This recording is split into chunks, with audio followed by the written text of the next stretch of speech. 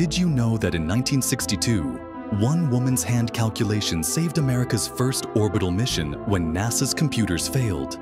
Katherine Johnson was working in NASA's Segregated Colored Computers division when astronaut John Glenn made an unusual request. He refused to trust the new IBM machines with his life.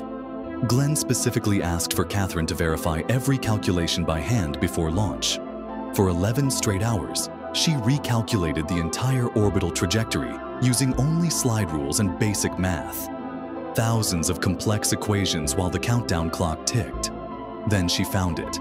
Her numbers differed from the computer by a critical margin. NASA faced an impossible choice. Trust the machine or trust her handwritten calculations.